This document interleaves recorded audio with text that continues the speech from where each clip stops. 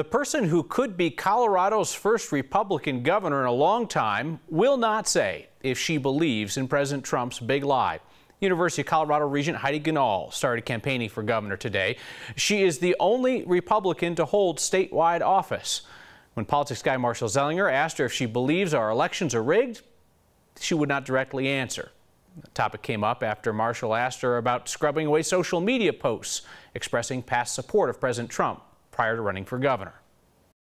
For people that want to get to know you and might want to know what did you say and think about the January 6th insurrection, or what do you think about COVID restrictions in the state, all of that proof that you might have said it on Twitter is now deleted.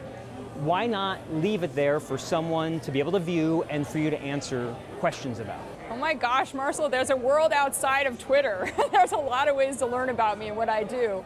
But honestly, I've had a policy as a business person to clean up my social media every few months for years. It's not anything new. So I was kind of shocked by the the uh, hoopla over it. Everything before May 31st is gone. Yeah, and I do that every few months. So if you go back, every few months, clean it out. Facebook, Why? Twitter. Um, I don't think that's important. I think what's important is what's wrong with Colorado right now and the direction we're headed in. This is kind of silly to spend our time together talking about Twitter when crime is skyrocketing and our kids, the suicide rate is out of control here. No one's talking about that. As a mom, that just ticks me off. Our kids are dying.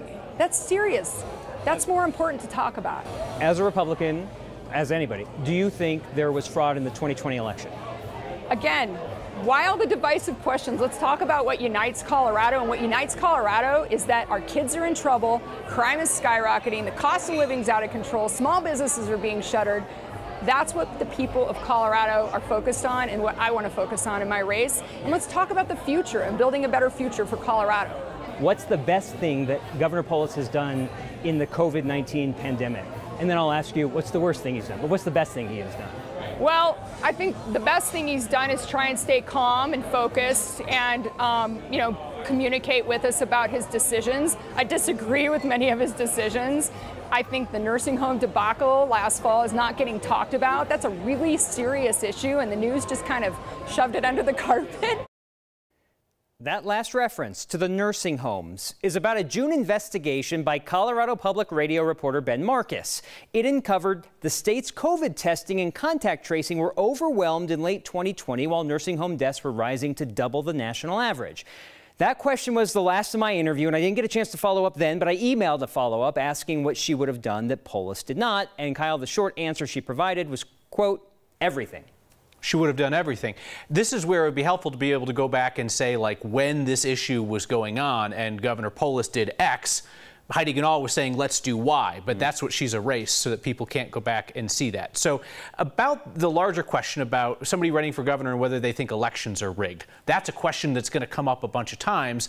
And the question for Colorado Republicans is whether they're going to keep doing the President Trump, our elections are rigged thing or move in a different direction. She's going to stick with Trump on this you look at the number of unaffiliated voters we have in this state, and it's a relevant question. And I've talked with David Flaherty from Magellan Strategies, the conservative leaning polling firm that helped us out on election night, and he told me his polling showed 9 out of 10 Republicans support Trump. So you still have to speak to that base if you're going to win a primary to be the Republican nominee that gets the chance to face Polis. And then the question becomes will you answer that question when the unaffiliated voters are going to vote in November?